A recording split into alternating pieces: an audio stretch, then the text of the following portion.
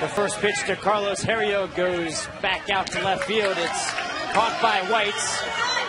Levere coming home. Santos nailed at third for the final out of the inning before the run crosses the plate.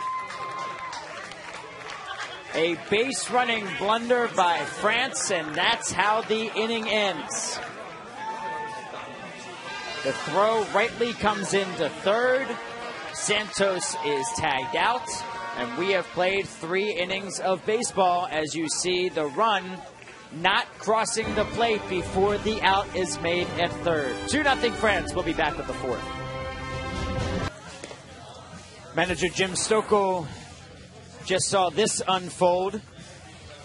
Carlos Herrio lined out to left, and this is what happens. The run trying to score on the tag, and Santos, for some reason, running over to third base. Well, we talked about in the first game, Israel versus Spain, how many times the cutoff,